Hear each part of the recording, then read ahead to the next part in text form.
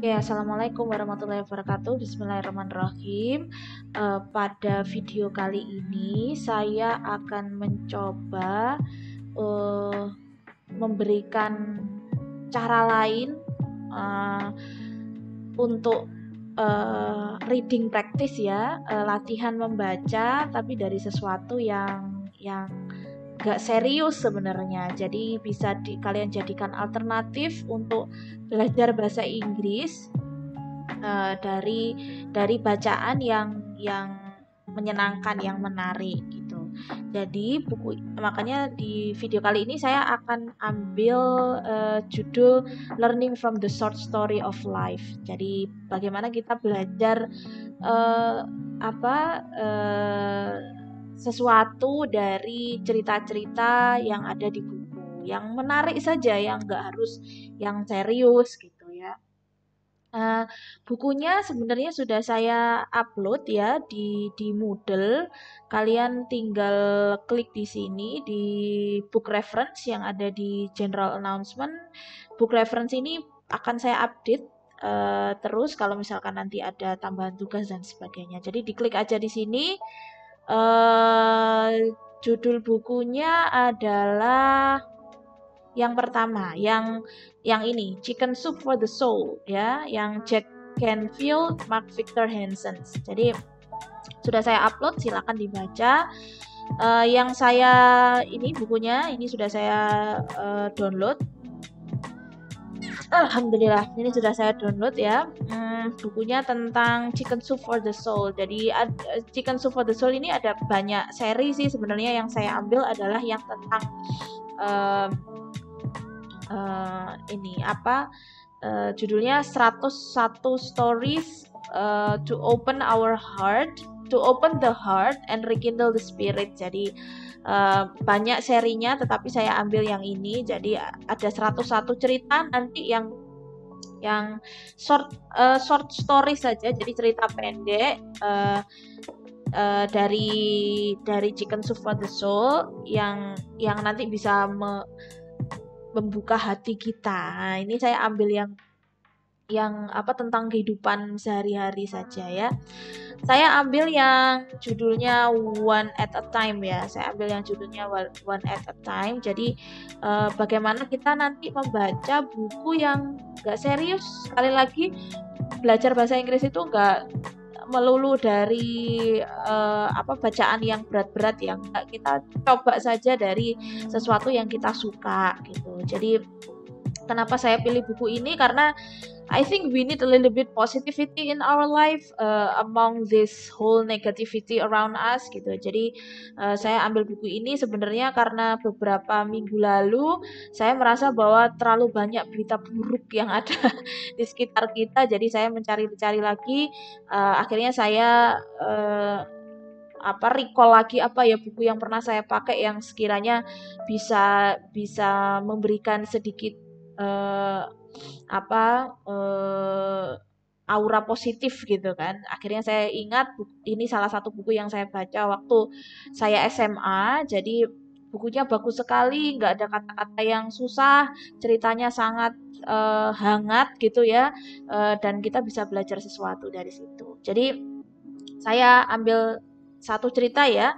Uh, judulnya One at a Time ini yang bercerita adalah si ini sendiri, uh, editornya sendiri dan uh, penulisnya sendiri. Nanti di sini ada banyak sekali cerita. Kalian tinggal uh, nanti untuk untuk EAS-nya kalian tinggal pilih beberapa yang lain ya. Eh sorry, salah satu dari cerita yang selain yang sudah saya bahas. Oke. Okay. Sekarang judulnya nih One uh, One at a Time. Jadi satu pada satu waktu. Nah, intinya gitu. Jadi uh, apa sih one maksudnya apa kok judulnya one at a time gitu. Nanti kita akan belajar sesuatu tentang si tentang cerita pendek ini. Oops, sorry. Uh, oke. Okay. Jadi uh, saya baca ya, saya baca uh, ceritanya.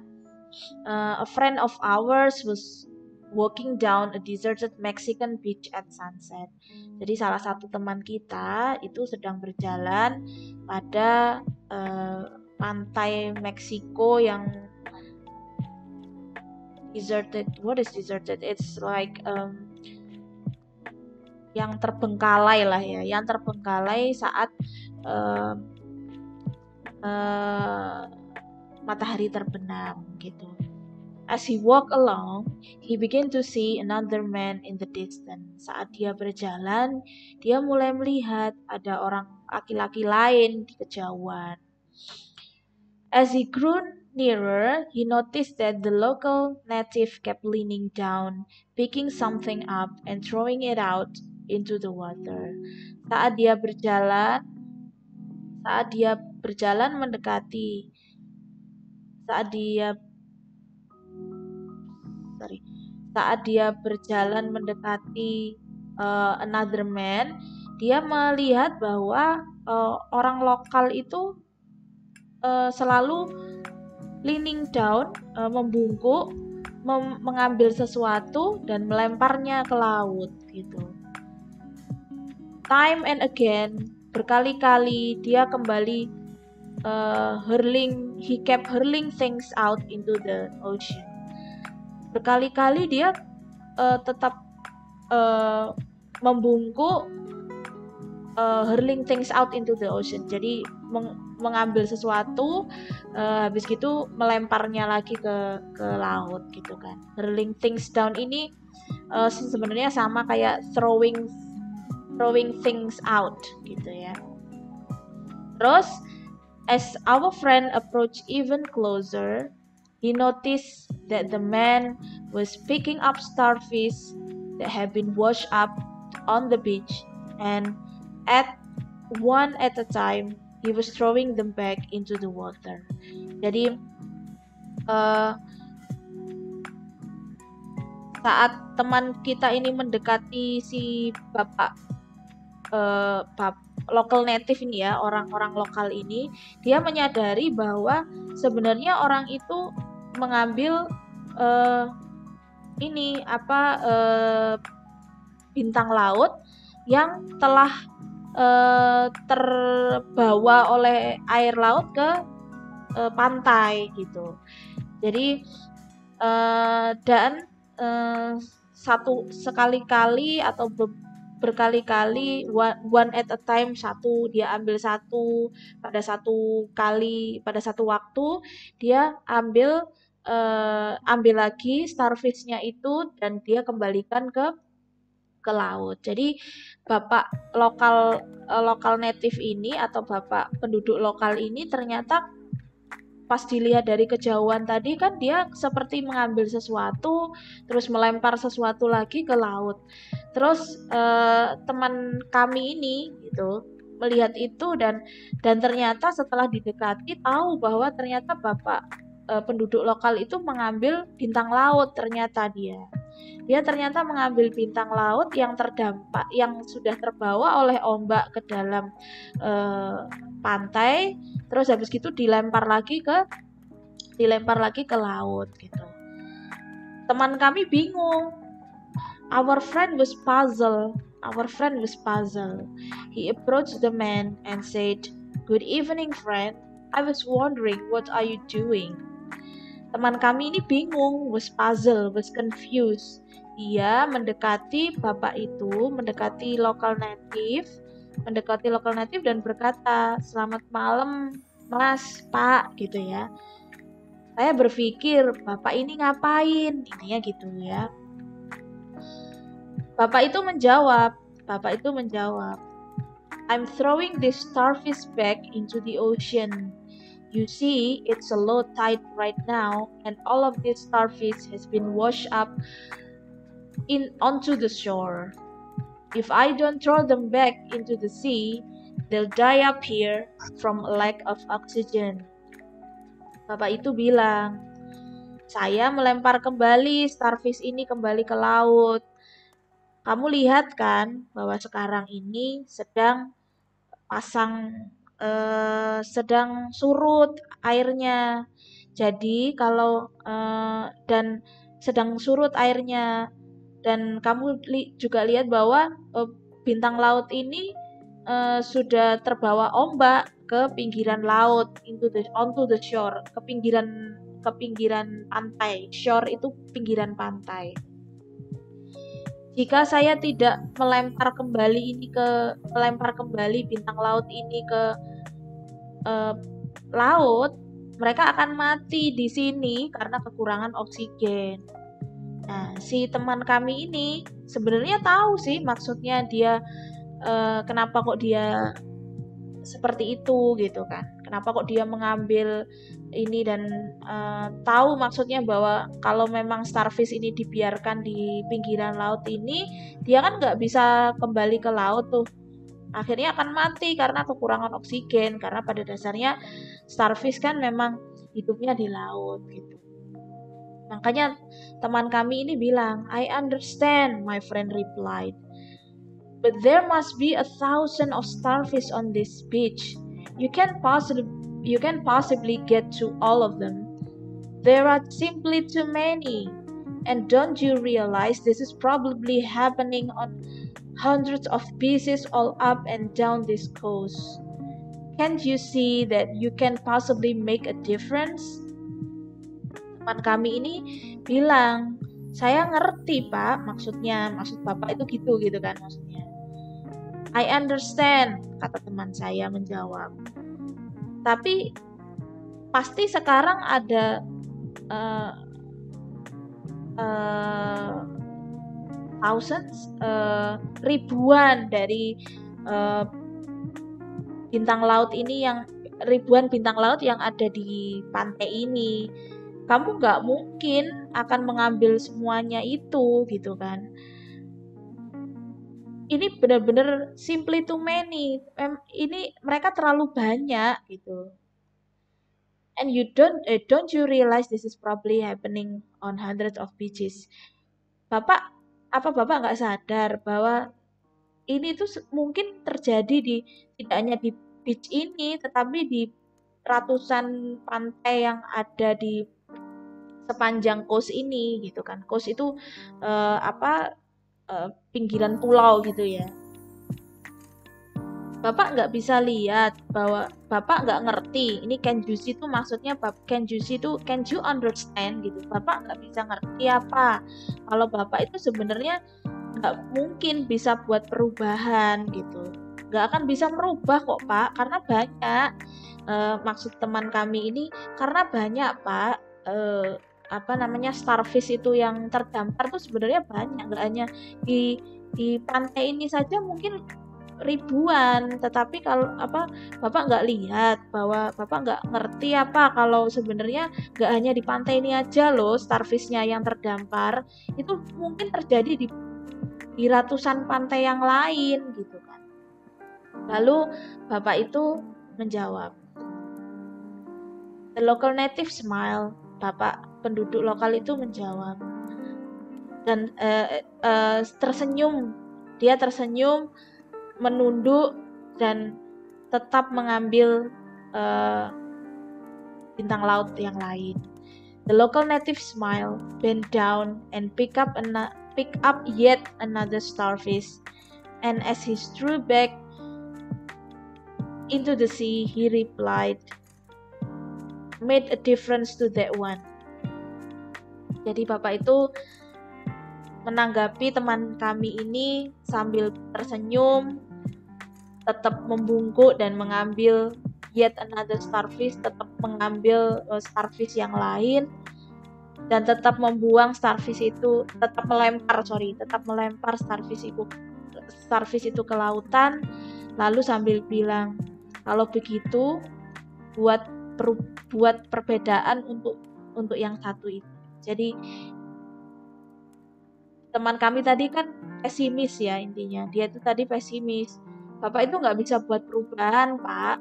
Bapak mau mau ngambilin semua starfish yang ada di laut di pinggiran pantai ini untuk kembali ke laut kan intinya bap, eh, teman kami bilang gitu tapi bapak itu bilang sambil membungkuk ya kalau begitu buat perubahan untuk satu satu satu starfish yang ini saja gitu intinya gitu jadi uh, maksud dari bapak ini dan maksud dari uh, teks ini adalah uh, to make to being to be kind ya. Jadi saya buat notes-nya ya di sini. Uh, jadi uh, pesan yang saya ambil adalah atau message from the story. Kan ya biar kalian bisa lihat lebih jelas. Message from the story that I get is to be to make a good difference you can start from the little thing. Nah, ini pelajaran yang saya dapat dari satu bacaan pendek itu. Mungkin pesan-pesan yang saya dapatkan mungkin beda dari kesan yang kalian dapatkan. Tetapi e, caranya seperti ini. Jadi e, ketika kita paham e, bacaan itu maksudnya apa sih, akhirnya kita bisa menceritakan kembali mengenai kesan kita. Atau kalau pes pesan lain mungkin bisa didapat message from the story that I get is to be kind. You can start from simple thing. Juga bisa. Jadi untuk berbuat kebaikan itu kamu bisa bisa bisa memulai dari sesuatu yang yang yang sangat sederhana. Salah satunya yang dibuat oleh Bapak tadi itu adalah membantu satu starfish ini dia membantu hanya satu sih setidaknya dia membantu starfish yang bisa dia ambil sore itu gitu dan kembali ke laut. Jadi ini yang uh, apa namanya uh, cerita yang bisa kita ambil.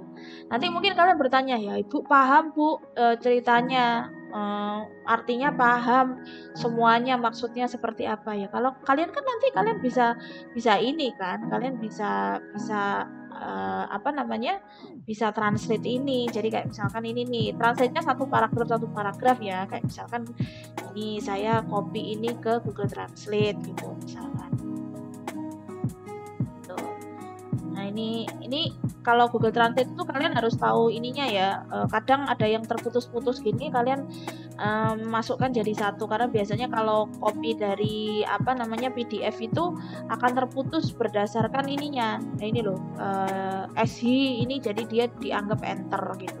Jadi padahal kan SH Grunirer ini seharusnya kan uh, jadi satu kalimat, tetapi di sini uh, di Google Translate ini harus kalian gabung dulu. Akhirnya menjadi kalimat ini seorang teman kami sedang berjalan menyusuri pantai Meksiko yang sunyi. Oh, ternyata saya salah tadi. Deserted itu ternyata sunyi. Nah ini akhirnya saya nemu nih kata baru. Oh, deserted itu ternyata sunyi. Saya masukkan ke Google uh, Sheet-nya. Saat dia berjalan, dia mulai melihat pria lain di kejauhan. Saat dia semakin dekat, dia memperhatikan bahwa penduduk asli setempat terus membungkuk, mengambil sesuatu dan membuangnya ke air.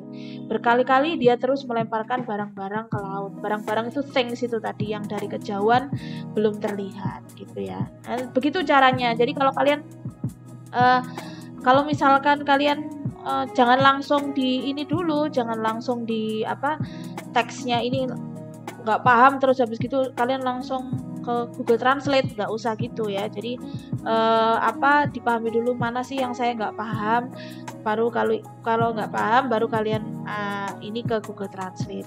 Kalau sudah dari Google Translate seorang teman kami sedang berjalan menyusuri oh ini yang mana sih? Oh a, a friend of ours seorang teman kami sedang berjalan ke pantai yang sunyi di apa tadi pantai yang menyusuri pantai Meksiko yang sunyi saat matahari terbenam. Berjalan menyusuri. Apa sih berjalan menyusuri itu yang mana? Oh, berjalan menyusuri itu ternyata yang ini loh.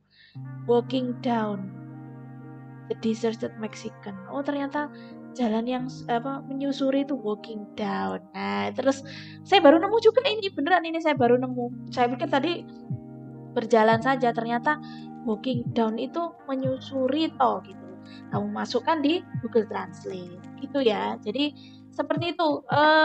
Nggak uh, harus kata kalau di Google Translate eh sorry kok Google Translate? Google Sheet. Jadi kalian bisa bisa nemu uh, new vocabularies-nya itu.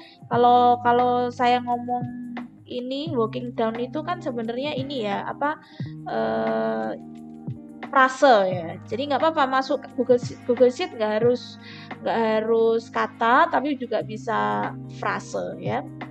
Nah seperti itu caranya. Jadi menarik kan? E, cerita ini sebenarnya bukan cerita yang berat kok. Cerita ini cerita yang hangat cerita yang menyenangkan gitu kan? Dan memberikan pelajaran bagi kita gitu jadi seperti itu e, contohnya. Nah tugas kalian adalah kalian buat yang ini ya yang the gift loh lebih pendek loh padahal lebih pendek nih. Kalian e, apa namanya e, buat artinya apa baca habis gitu kalian uh, artikan sendiri saya nggak perlu tahu uh, artinya ya. Cuman kesan yang kalian dapatkan pesan apa yang kalian dapatkan dari cerita ini tuh menurut kalian apa? Buat kalimatnya sesuai yang saya buat seperti ini. Nanti nah jadi message from the story that I get gitu. Is gitu ya. Jadi kalian buatnya nanti seperti itu. Satu kalimat saja atau menurut kalian bu saya dapat dapat dapat ininya dapat kesannya itu beberapa bu gitu misalkan. Ya boleh silahkan. Uh, apa saja menurut kalian pesan yang kalian dapat dari cerita pendek itu nanti silahkan kalian masukkan ke dalam uh, sepada ya bentuknya teks saja bentuknya teks. Seperti tugas uh, yang sebelumnya gitu ya. Uh, semoga ini memberi sedikit uh, inspirasi dan pencerahan bahwa belajar bahasa Inggris itu bisa bela bisa dimulai dari sesuatu yang kita suka ya. Jadi ini contohnya adalah buku buku yang saya senang uh, reading practice uh, belajar membaca itu adalah kita mulai dari sesuatu yang kita suka dulu saja. Kalau uh, saya sukanya adalah buku yang simple seperti ini tetapi memberikan memberikan uh, pesan yang baik untuk saya dan apa namanya uh, bisa sedikit uh, memberikan energi positif lah ya untuk kita gitu ya. Jadi uh, kalau bisa kurangi pesan saya di apa di materi kali ini kurangi membaca sesuatu yang negatif ya berita-berita negatif ya kalian perlu tahu tetapi coba kurangi yang berita-berita yang menurut kalian kok semakin membuat kalian stres gitu. Kurangi kita baca sesuatu yang uh, menarik seperti ini. Anyway Chicken Soup for the Soul ini semuanya true story ya. Semuanya cerita cerita real dari kumpulan uh, beberapa orang gitu. Jadi uh, there are my final message is there are good things in the world. Jadi banyak sekali uh, sesuatu yang baik di dunia ini. Jadi uh, semoga kalian bisa mendapat pesan yang baik juga dari uh, cerita yang ada di Chicken Soup dan materi kali ini. Keep reading, keep practicing, uh, keep updating uh, the new vocabularies on Google Sheets, and I hope you can get better in practicing English. Oke, okay? terima kasih. Uh, saya akhiri dulu. Semoga materi kali ini bermanfaat. Saya akhiri. Assalamualaikum warahmatullahi wabarakatuh.